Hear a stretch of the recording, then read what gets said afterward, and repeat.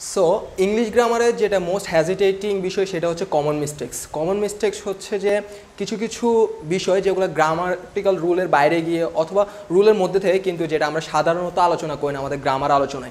So ওই ধরনের বিষয়গুলো নিয়ে আজকে আমরা আলোচনা করব আমাদের এই প্লেলিস্টে তোমরা যদি পুরো প্লেলিস্টটা দেখতে থাকো, তাহলে বিষয়গুলো সম্পর্কে ভালো আইডিয়া পাবে। সো ফার্স্ট ওয়ান যেটা, সেটা হচ্ছে introductory it and there introductory it and there মানে হচ্ছে যে কোনো সেন্টেন্স যদি ইট অথবা দেয়ার দিয়ে শুরু হয়, তাহলে ওই সেন্টেন্সের পরবর্তী বিষয় কী হয়? দেয়ার দিয়ে যদি কোনো সেন্টেন্স শুরু হয়, তাকে বলে যে ইন্ট্রোডাক্টরি দেয়ার দেন দেখো there are many skyscrapers in US skyscrapers মানে হচ্ছে যে বড় বড় দালান। There are many skyscrapers in US আমেরিকাতে বা ইউনাইটেড স্টেটসে হচ্ছে যে দেয়ার আর মেনি স্কাই স্কেপার্স রয়েছে দেয়ারের পর সবসময় একটা বিভার্ভ থাকে।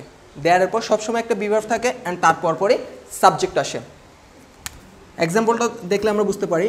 There are many skyscrapers in US there be verb আসছে দেন হচ্ছে যে subject so next one example দেখো। There are many books in public library there be verb are and হচ্ছে যে সাবজেক্ট মেনি বুকস সো ইটের ব্যবহার।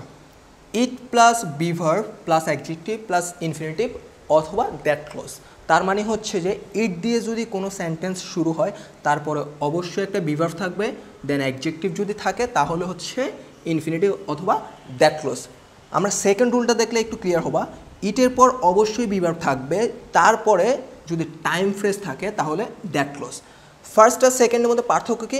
It plus be verb plus adjective plus time phrase তার মানে first rule হচ্ছে আমার adjective second rule হচ্ছে টাইম ফ্রেজ অ্যাডজেক্টিভ থাকলে ইনফিনিটিভ হতে পারে দ্যাট ক্লোজও হতে পারে। বাট যদি টাইম ফ্রেজ থাকে তাহলে হচ্ছে অবশ্যই শুধুমাত্র দ্যাট ক্লোজ হবে।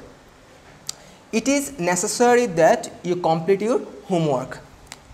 It is necessary.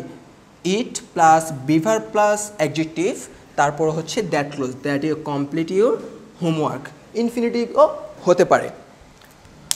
Second one it was nineteen seventy one it be verb and হচ্ছে time phrase nineteen seventy one দ্বারা একটা সময় বোঝাচ্ছে। এটা ছিল উনিশশো একাত্তর সাল। দ্যাট উই বিকেম ইন্ডিপেন্ডেন্ট যখন আমরা স্বাধীনতা পেয়েছিলাম বা স্বাধীন হয়েছিলাম। বাংলাদেশে আমরা যারা গ্রামার শিখি, তাদের বেশিরভাগ ক্ষেত্রে দেখা যায় এখানে আমরা হোয়েন ইউজ করি। It was nineteen seventy one when we got or when we became independent actually ওটা ভুল। কারণ হচ্ছে যে বিভার্বের পরে যদি টাইম ফ্রেজ থাকে, তারপর দ্যাট ক্লোজ আসবে। একটা টাইম ফ্রেজের পরে আরেকটা টাইম ফ্রেজ আসতে পারে না। যদি আমরা এখানে হোয়েন ইউজ করি, তাহলে সরাসরি একটা টাইম ফ্রেজ আসতেছে। নাইনটিন সেভেন্টি ওয়ান একটা time phrase that clause use না করে যদি হোয়েন ইউজ করে, তাহলে সেটা আরেকটা টাইম ফ্রেজ তার মানে হচ্ছে যে it plus be verb plus time ফ্রেজের যদি থাকে, তাহলে তারপরে অবশ্যই একটা দ্যাট ক্লোজ আসবে।